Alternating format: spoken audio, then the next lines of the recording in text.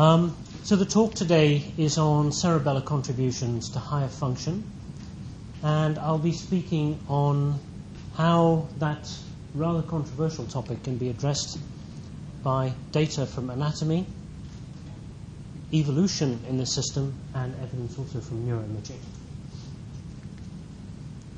So, as an outline, I'll start by talking about the structure of the corticocerebellar system in non-human primates. So what do we understand about the structure um, in non-human primates? And importantly, why it matters. People often feel uh, that anatomy is extremely tedious. Um, I'm going to try to explain the anatomy of the system in a way that's not tedious. Um, but I do want to underscore that if you want to understand the system, if you don't understand its structure, you'll never be able to understand its, uh, the way it processes information. I'll then touch on evolution in the corticocerebellar system and why it can inform us about the way in which we can extend its role from motor control into the domain of higher cognition. And I'll be touching on a rather elegant idea that connected systems evolve um, as a whole. So it's not different brain areas that evolve in, in an isolated manner. You get uh, concerted evolution occurring in, in a whole system. So areas that are wired up together will evolve similarly because they're all subject to the same selection pressures. So then I'll talk about the human corticocerebellar system and what we know about its structure. And I'll wind up by discussing functional evidence for the automation of rule related information processing and the role of corticocerebellar systems in that. I'll be touching on two issues. Does evidence, uh, does the cerebellar cortex process rule related information at all? Of course, that t- touches very directly on the issue of its involvement in cognition.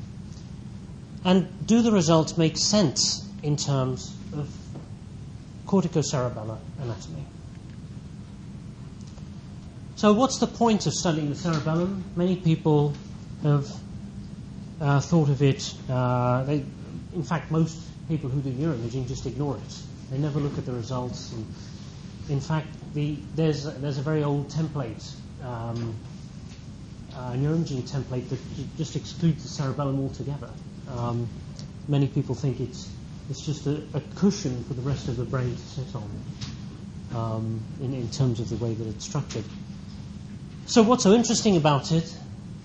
One of the amazing things about it is that it contains between 50 and 80 percent of the brain's neurons. That's a staggering number. Um, and it really speaks to the vast computational power uh, that, that the structure is capable of. The other thing is that it's highly conserved. So the basic anatomical plan of the cerebellar cortex is exactly the same in, in, in all mammals, uh, and certainly the same in, in many, you know, across most species. So it's not changed very much. So by studying its structure and function in humans, it's easier to extrapolate, well, by studying its structure and functions in animal models, it's easier to extrapolate what might be going on in humans.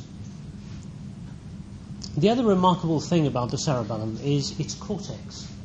So, if you consider the cytoarchitecture of the cerebellar cortex, it's some people have, like uh, John Eccles, have described it, described it as being almost crystalline. So you get these repeating elements, these very simple repeating elements that um, that, are, that are fairly regularly structured. One of the central features of that is the Purkinje cell, and we'll touch on that later. And you can see here, for example, um, the way that these Purkinje cell bodies are lined up uh, next to each other in the cerebellar cortex. There's a molecular layer, a Purkinje cell layer, and um, a, a, granular layer under here, and, and these white matter fibers um, underneath that. So you get this very simple, regular, repeating organization. And this makes it very attractive to computational neuroscientists to try to model how this um, very interesting structure might process information.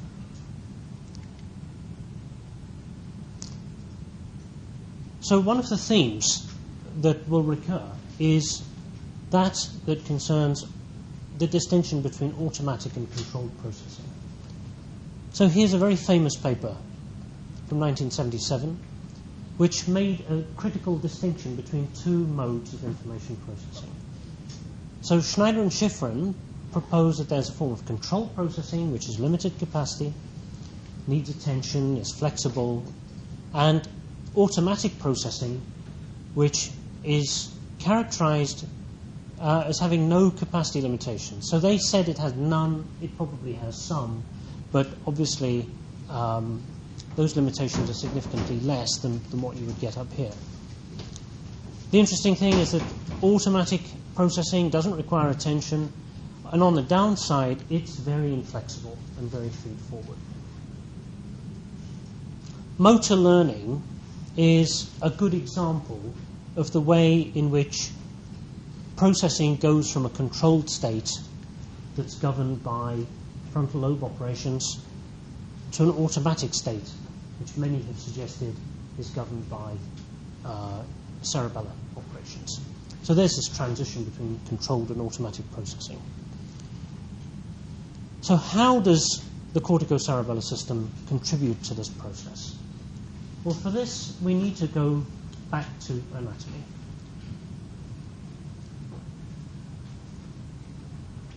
So, when the motor cortex wants to control um, some muscles, what it does is to send a motor command down the spinal cord, and that results in movement, but also its sensory consequences. So, the proprioceptive information that comes about as a result of that, the tactile information, and of course visual inputs too. So whenever you make a movement, it has all of these consequences. For a system that is optimal in that respect, there needs to be in place a mechanism for ensuring that your motor commands that come down from the motor cortex result in the right movements. Another way of putting that is result in the right sensory consequences. Okay?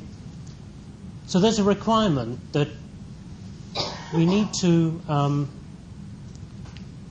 compare the motor command and generate a prediction. Well, basically, we use the motor command to generate a prediction about its sensory consequences.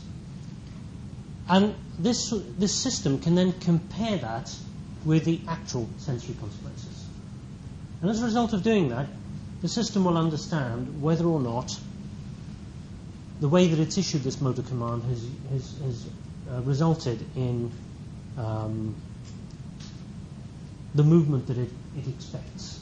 Okay? So if there's no mismatch between these two, all is well with the world. Okay, you're making the right predictions, you're making um, the right movements and so on, and it's all fine. Okay, so there's, there needs to be a mapping between commands and consequences. Okay, and these are, these mappings are learned. It's been suggested and stored in cerebellum.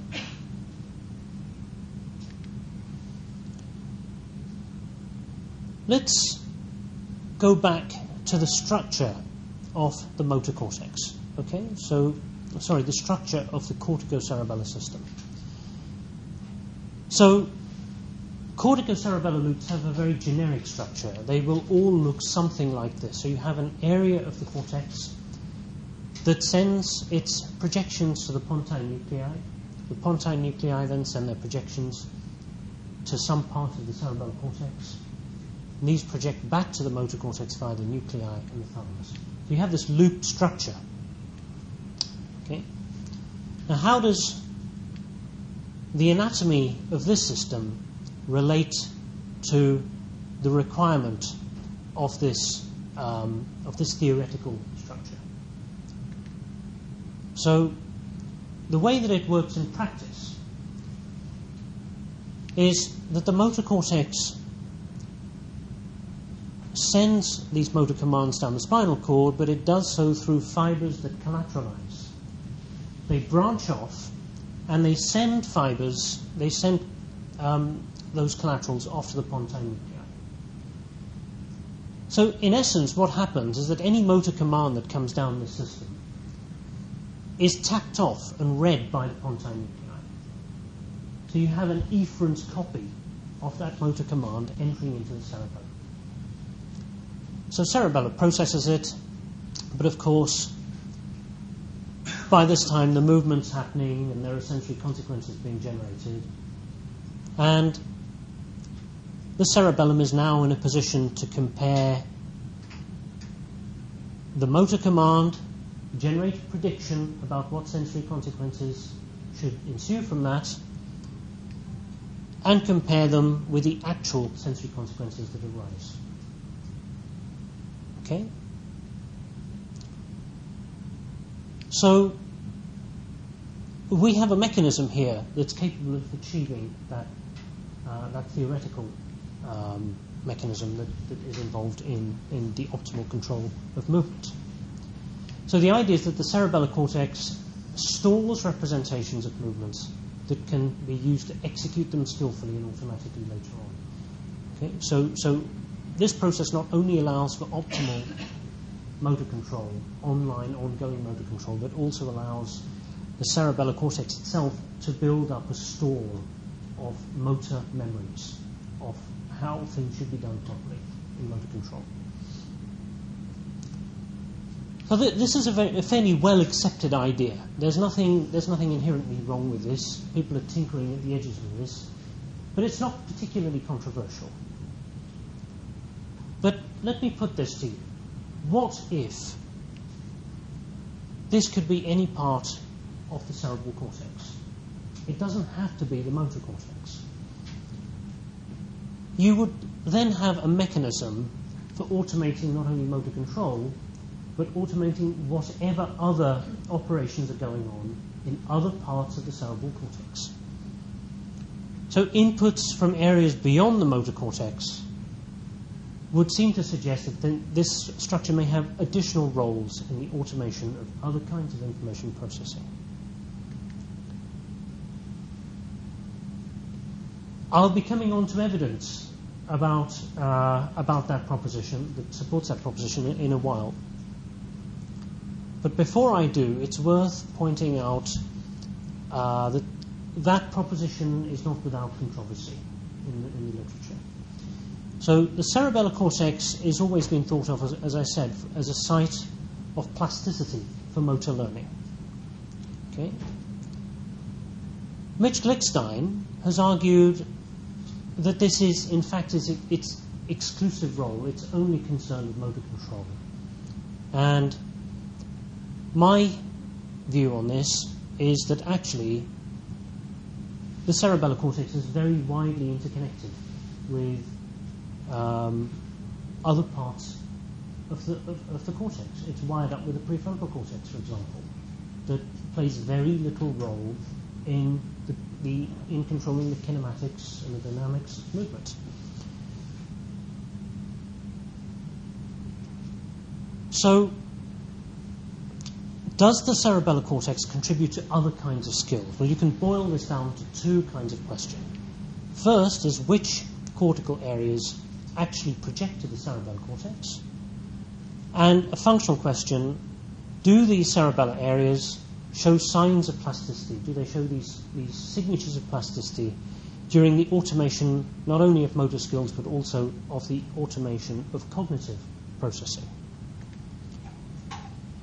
So here is some data from the 70s and 80s uh, by Brodal and Glickstein showing us very well that there are, uh, you know, from lesion evidence and degeneration studies and axonal tracing that reveal very dense projections from the motor cortex to the cerebellum. Okay, so the way that they did this is they, they placed lesions in, in the pons and they looked at the resulting degeneration in the cortex.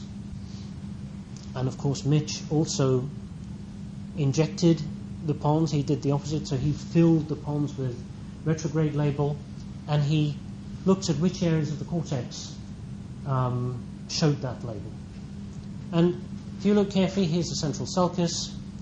Brodal's data shows that there's um, a good deal of, of uh, know, very dense projections coming from precentral. And Mitch shows largely the same sort of patterns here with his uh, tracer studies, but notice that he shows more label in prefrontal areas out here than, than Brodal did. Nevertheless, Mitch's conclusion was that the projections arise mainly from those areas involved in the planning of movement or the corollary discharge from an intended movement. Although there's a modest input from the medial prefrontal cortex, there's very little or none from the lateral prefrontal cortex. I'm going to argue that these conclusions are actually flawed. Okay? Um,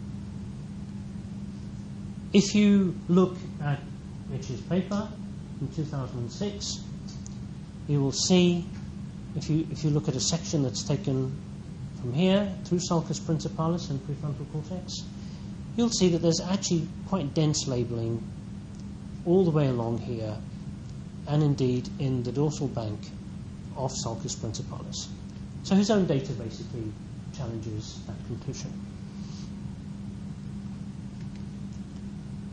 Schmahmann and Pandya took a different approach. What they did was to inject tracers, anterograde tracers this time, into lots of different areas of the cerebral cortex, and they traced projections down to the pons. And they found, if you look here, these, this purple label, you'll see that there's quite a good deal of it labeling the pontine nuclei.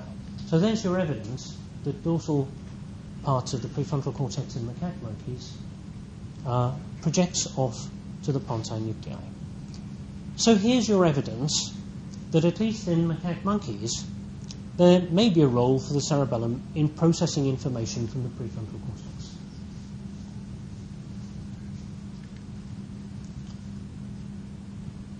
In particular, they placed injections in areas that are really very, very far removed from motor control. So, area 10, which is anterior prefrontal cortex, is about as far away as you can get in the frontal lobe from, um, uh, from the central sulcus. And it sends absolutely no projections whatsoever down the spinal cord. It has absolutely no role in control of kinematics and dynamics of action. So they placed an injection in area 10 and they found label in the pontine nuclei that you can see very clearly here. So they also found label when they injected area 9, area 946, the dorsal parts of it. Uh, and what this slide really highlights is that all of these areas are really quite far away. It's very difficult to argue that their primary role is in the control of movement kinematics. This is just a, an alternative view. Um, if you're interested in going to the paper, you'll see, you'll see the prefrontal projections broken down in some detail like this. But broadly speaking, they found projections from Area 10, Area 9, Area 946, and, and the uh, homologue of Area 45. But of course, these, uh, there are limitations to these methods. Um, they don't show projections that go all the way to the cerebellum. This is just speaking to issues about uh, projections between the, from the, the, cerebral cortex to the pons. What about the projections go onwards to the cerebellar cortex?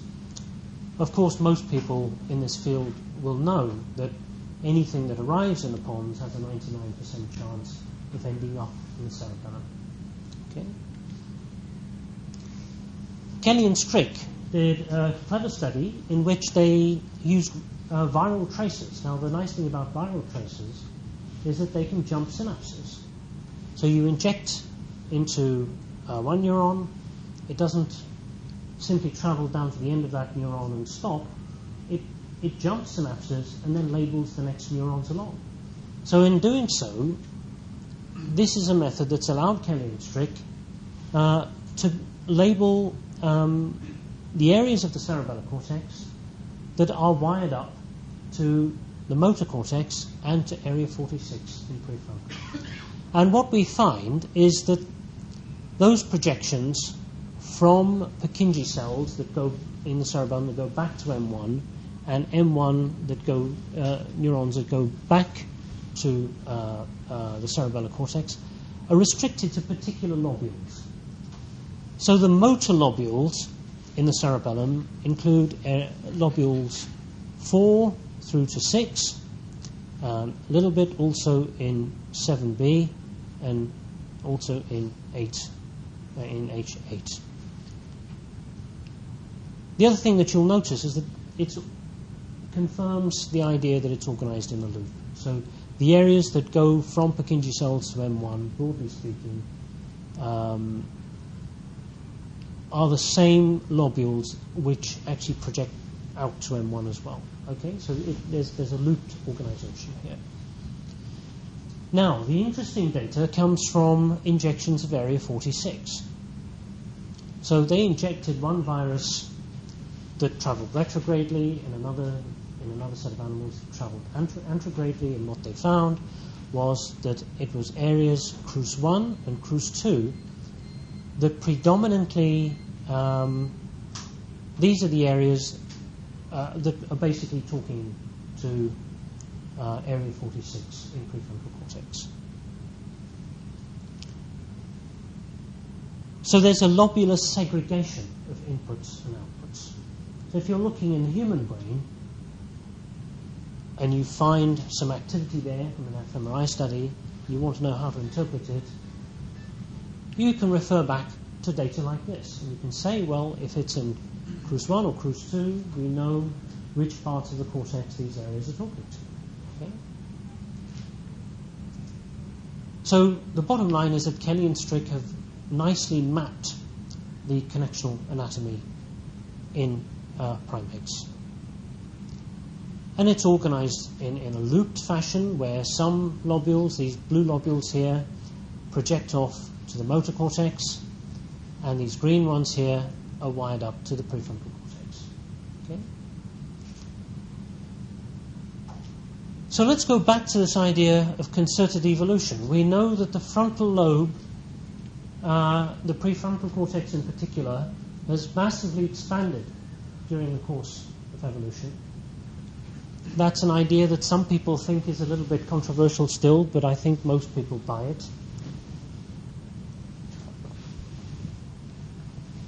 If selection pressures apply not to single brain areas but whole functional systems, then you would expect similar uh, patterns of evolution going on in the cerebellum. You would expect that these green lobules here would expand in line with the expansions that we see in prefrontal cortex. So that's an interesting hypothesis to test. And it can be tested. So here's a, here's a brief summary of the prefrontal loop and the motor loop. Okay, so here are the particular lobules that the prefrontal cortex is connected to and the ones that the motor cortex is connected to. We can test it at the level of the cerebellar output nuclei. Okay? We can also test it at the level of the prefrontal cortex itself, which has been done now.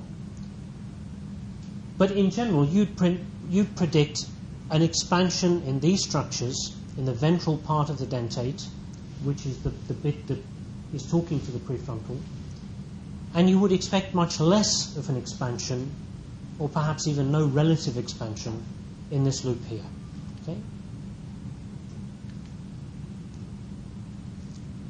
We've looked at this problem from the perspective of the cerebral peduncle and the cerebellar cortex itself. So we've looked for these expansions in those particular areas. So we've looked at this set of fiber pathways using DTI and uh, volumetry using uh, uh, in the cerebellar cortex. So here's a little schematic of the dentate nucleus in the macaque. You can see that the dorsal part is larger than the ventral part. Uh, there are some arguments about where the subdivision should be, but on the whole, I think there's a general agreement that the dorsal dentate uh, and the ventral dentate, uh, there's no there's no great expansion in the ventral dentate. If you look at the human dentate, you'll see that the ventral component is very, very significantly larger than the dorsal component. So the bottom line is that we see some evidence from the work of Matano and colleagues that there's been this big expansion in the human brain um, in, in that prefrontal loop. The, the division between the dorsal and the ventral is based on the pattern of the gyro. Yeah, the, yeah. the macro and the micro gyro. That's correct, yes. And there's some controversy about that. You know, um, there's, there are some issues about whether that subdivision is an arbitrary one or not. Um, and I, I think that probably needs to be addressed some, you know, further. But that, well, that was the criteria used. Absolutely, yeah, yeah. What about the inputs from prefrontal cortex into the pons? Have those expanded? Now, um, we've addressed this issue using uh, diffusion imaging. If you look at Gray's anatomy, you'll see that the um, cerebral peduncle through which these fibers pass is color coded in the following way. There's this thing that is, used to be called the prefrontopontine tract, the, the, the, another tract adjacent to it containing motor fibers, and then temporal-pontine fibers back here. Um, this is conventional wisdom, but nobody really knows whether it's right. Okay, it's in the textbook. Everyone's gone along with it, and frankly speaking, I've looked, I've tried to find some evidence for this, uh, this sort of organisation, and actually, there's nothing out there in the literature. I think they just drew an arbitrary line here and here, based on their assumptions. I really do think that. Um, and it shows you that the motor fibers, you know, it occupies this enormous chunk of, of the cerebral peduncle. I don't know what the evidence is for that. So we try. in 1895. Sorry. Like, that's Da- the in evidence those- I found. Data in 1895. Yes. Yes. It went not that. It was close to that. Yes. But Yes. it was very. Well, Dejerine was a ropey study. You know, um, it's had some pretty ropey data and some ropey conclusions. But anyway, let's move on. Um, so, as many of you will know, it's possible to use DTI to try and investigate this issue. How do the fibers really distribute in the cerebral peduncle?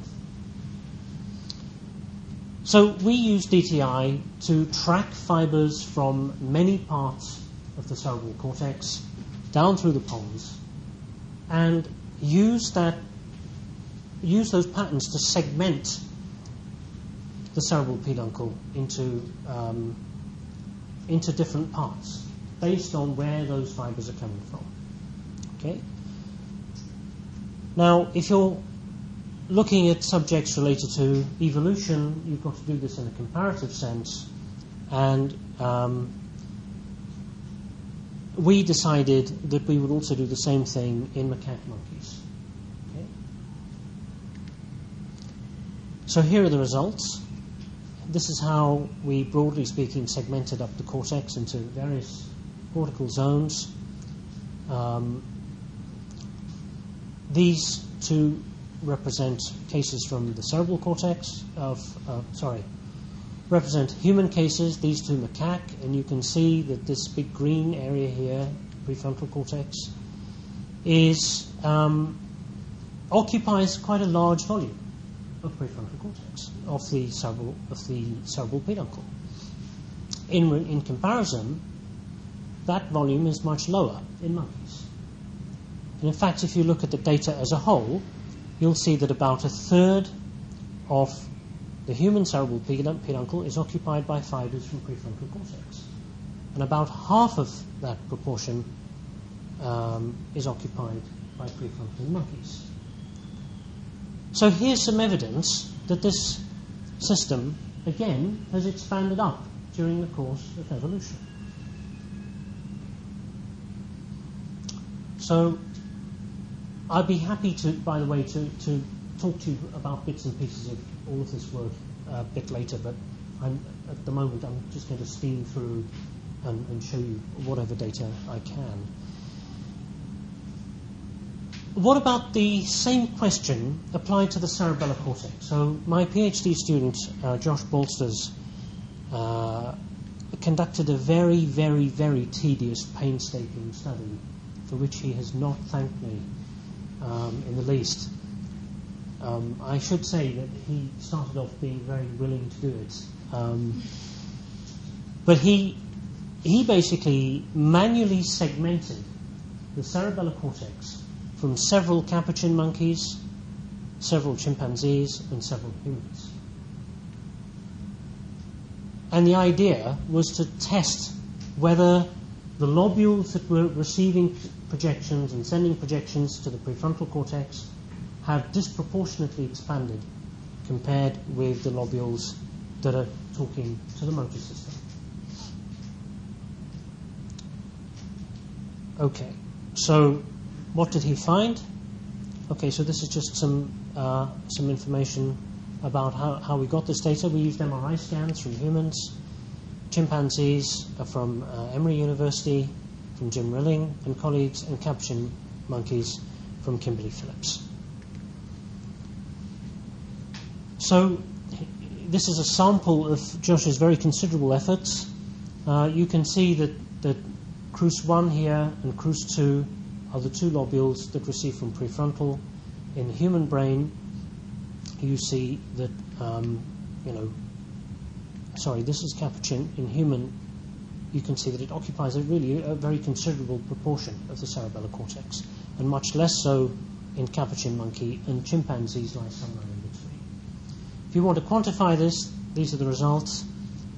For CRUS1, there was a very, very big difference uh, between humans and chimps. Humans and chimps are really separated by only 5 million years of evolution. There are, you know, I think at least 40 million years of evolution that separate us from capuchins. So you can see that uh, CRUS1 and CRUS2 really, really dominate this difference. Okay, so here's some evidence showing that the lobules of the cerebellar cortex that are talking to the prefrontal cortex have disproportionately expanded. Okay? Well, it's all very well to talk about anatomy. What about the way that these areas talk to each other in the human brain? Is the wiring likely to be the same or not? So, Jill O'Reilly did a study with us where she put people into the scanner. Have you, are you familiar with resting states? Is anyone who's not familiar with resting states here? Okay, so I'll, I'll explain a little bit about that anyway. So we put people into the scanner and they do absolutely nothing, they just lie there. And we collect baseline resting data from them. Areas that are connected up to each other should influence each other.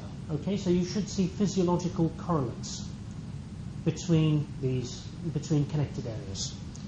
So what Jill did was to isolate the voxels in the motor cortex and ask the question um, in that motor cortex time series, how much of that signal can I predict from signal?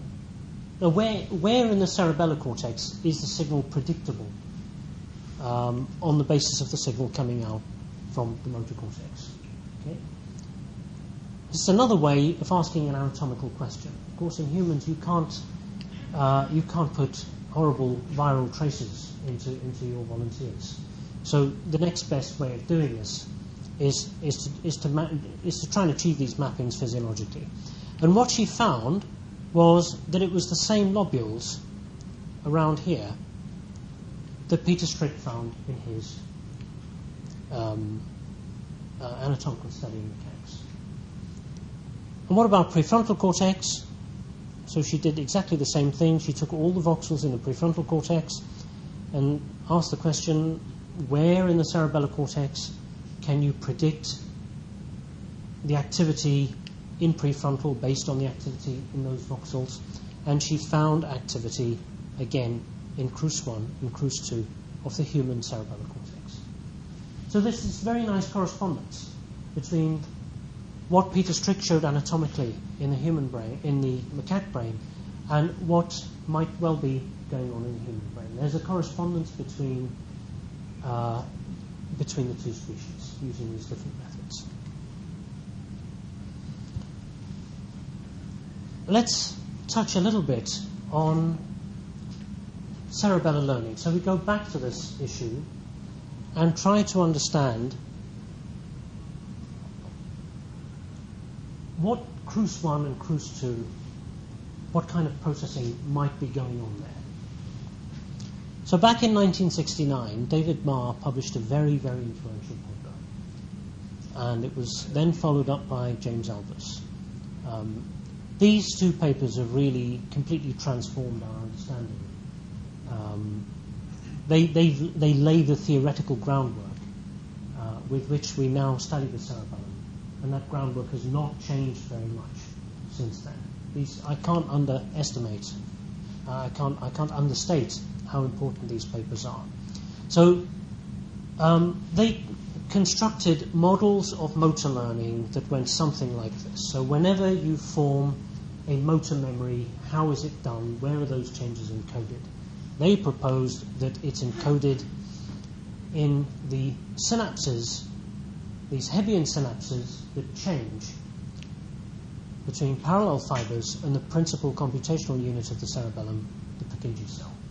So you get these very interesting uh, uh, neurons, Purkinje cells, that form the main outputs of the cerebellar cortex, and the weights of these, these synapses are adjusted as motor learning proceeds, and that's how motor learning, motor memory is laid down in the tissue of the cerebellar cortex.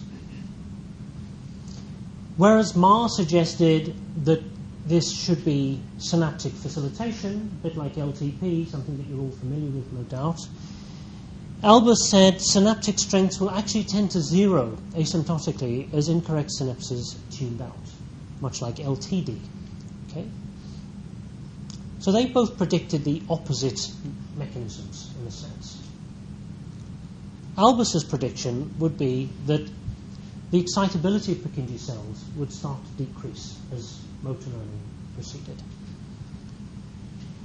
My proposal is that there are common cerebellar cortical mechanisms of plasticity that support not only motor learning in the motor loop, but also the automation of rule related learning in the prefrontal loop. Okay? So the very same mechanisms that are engaged during motor learning are also engaged during the automation of cognitive behavior. And this basically um, has been the focus of the work that's been going on in my lab for the last uh, few years.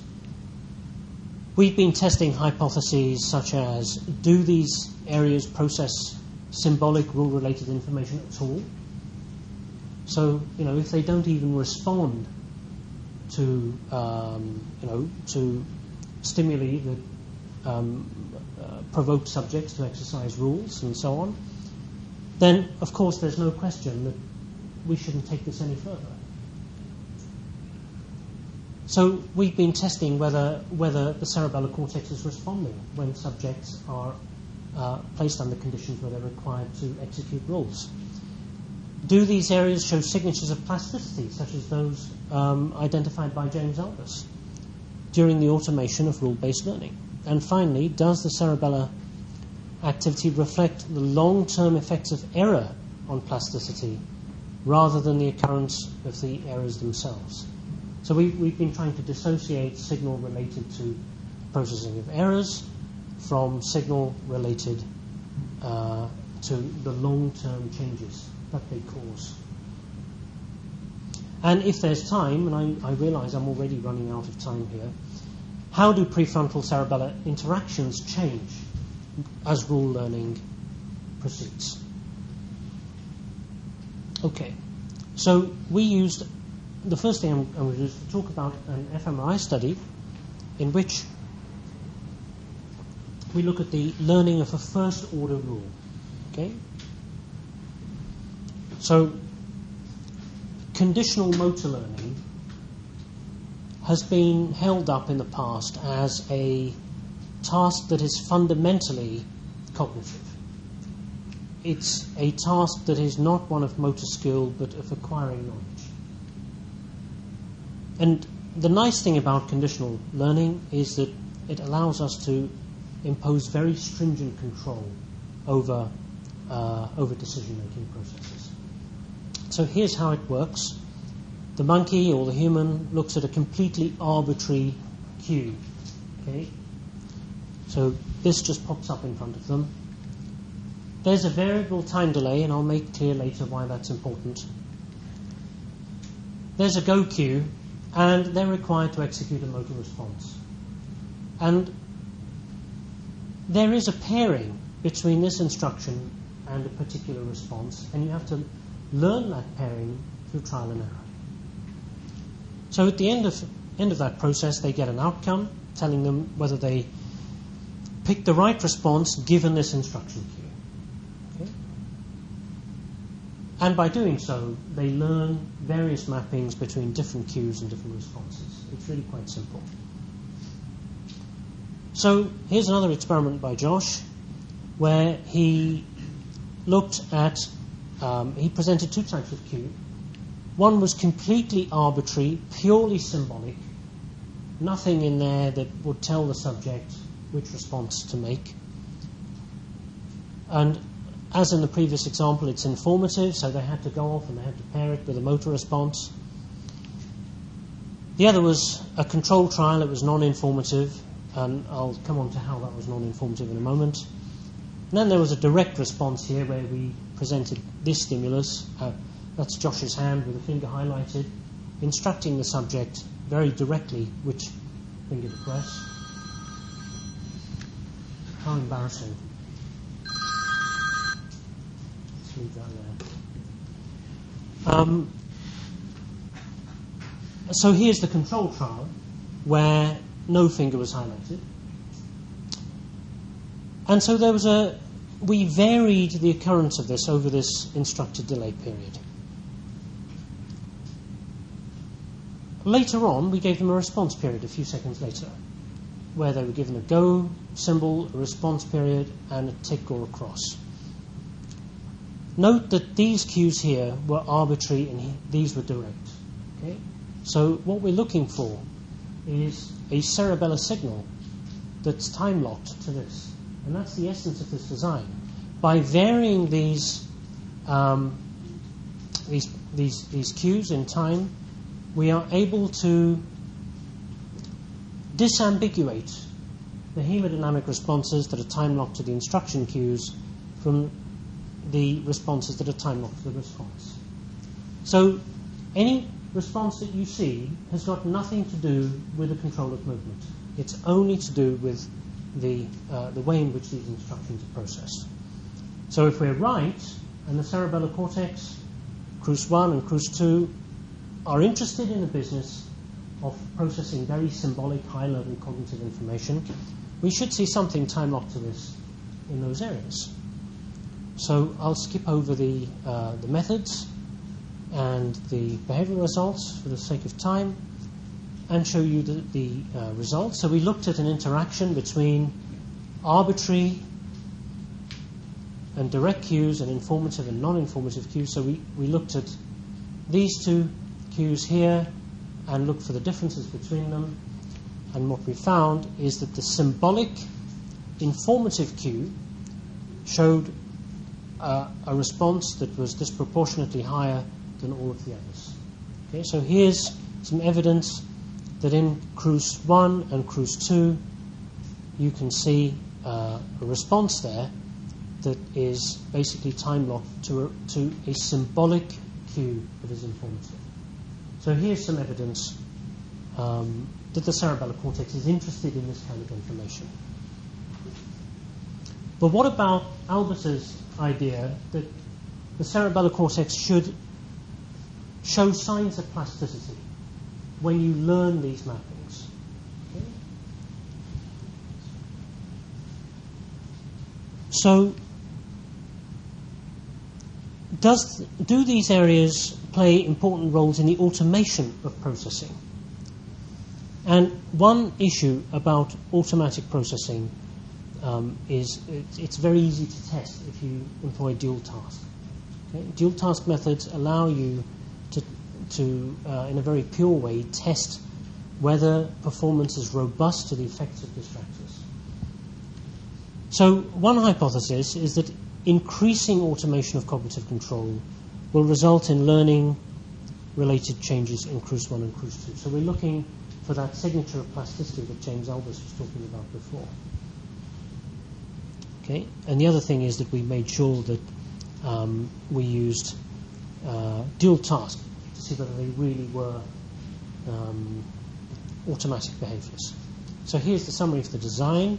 This is slightly complex, but before we put these people into the scanner, we trained them on exactly the same task that I've shown you before, but we used, for one set of cues, we used 100% reinforcement. On another set, we used 50% reinforcement, so they learned these cues at different rates in the same session. We then put them into the scanner and we carried on training them. So in this phase, they knew what the cues were, but they went on becoming automatic. And the reason that we did that, the reason that we employed this design, is that we realized in some of our piloting work that faster learning here leads to faster automation in the subsequent phase.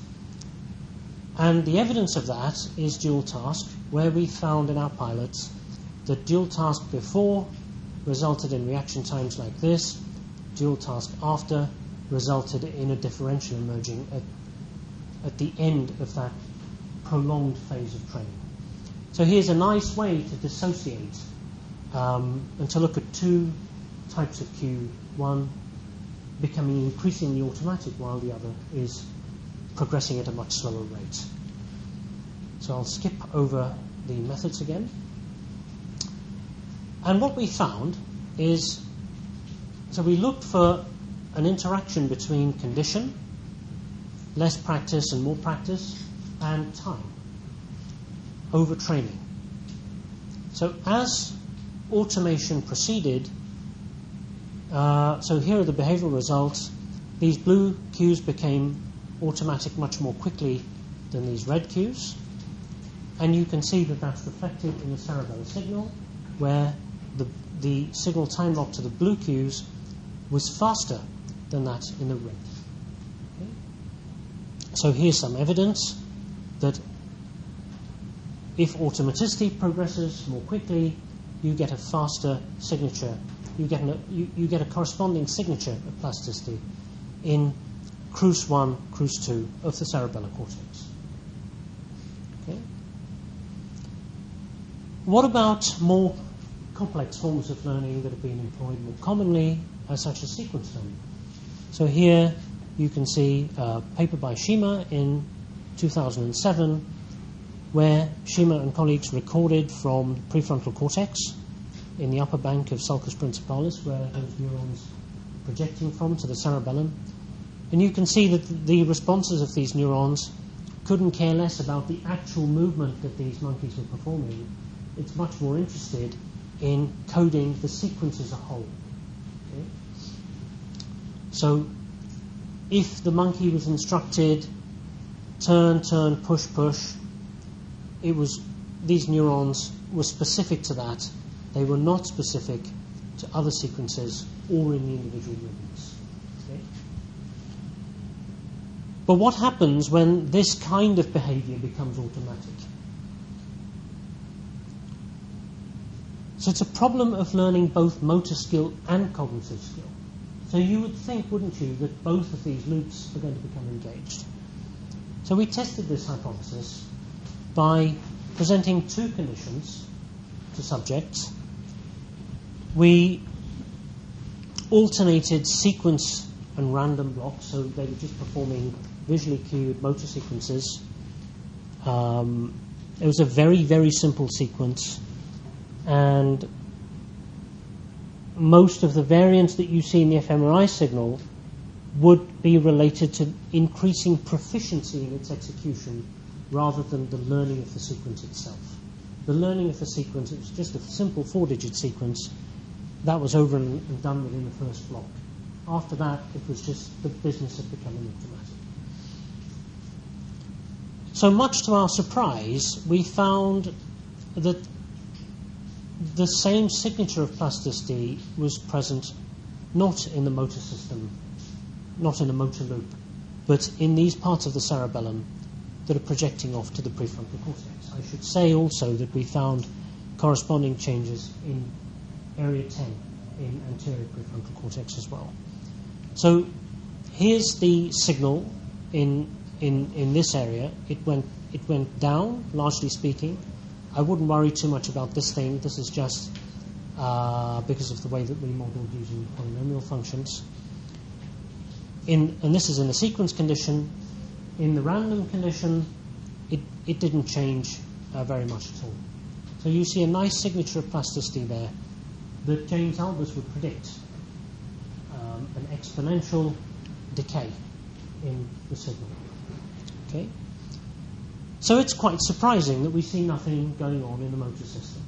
And we realized some way down the line uh, that actually there were papers starting to come out suggesting that any changes that you would see in the motor lobules and in the primary motor cortex would be taking place over a series of days rather than um, uh, rather than the very short time scales that we're seeing here. So there's some evidence that they are learning the rule, uh, that the, the mechanisms for actually learning the rule related to the sequence and its automation are sitting in area crus 2.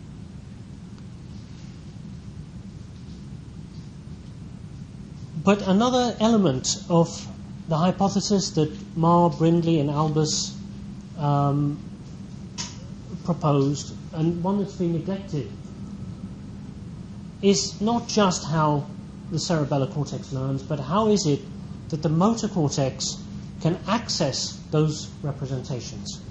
How is it that a command from the motor cortex can trigger the cerebellar cortex to start executing that learned behavior. So you get relatively high level commands from, uh, from um, areas of the cortex that access the cerebellar cortex so that when, in Marr's own words, when we have been, when we have learned a simple or incomplete message uh, from the cerebellum will suffice to provoke their execution. So a very simple command from the cere- cerebrum will provoke the execution of that. So our prediction was that if we go back to the very same data set, we should see a change in the connectivity between the motor, between not the motor cortex in this instance, but the prefrontal cortex, a change in the connectivity of the prefrontal cortex and the cerebellar cortex, um, and that should change as a function of time. So there are some statistical methods in imaging, such as dynamic causal modeling, that can allow you to do this. So we specified an anatomical model where the left prefrontal and the right and the right crus 2 were talking to each other, and likewise on the other side because our activations were bilateral, and we thought we ought to also test this in uh, in the motor system as well.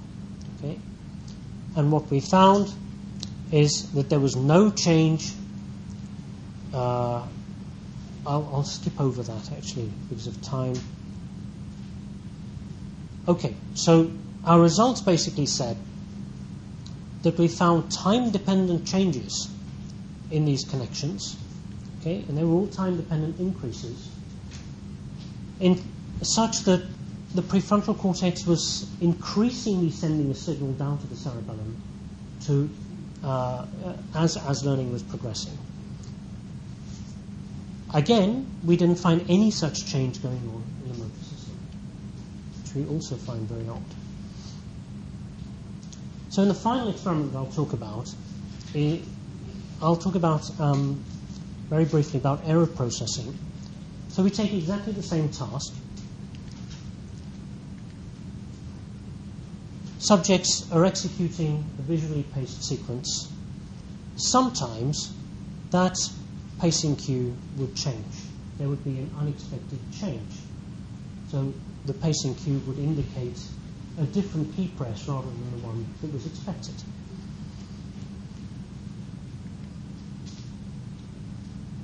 We weren't so interested in what happens when this occurs. What we were more interested in is what happens immediately afterwards.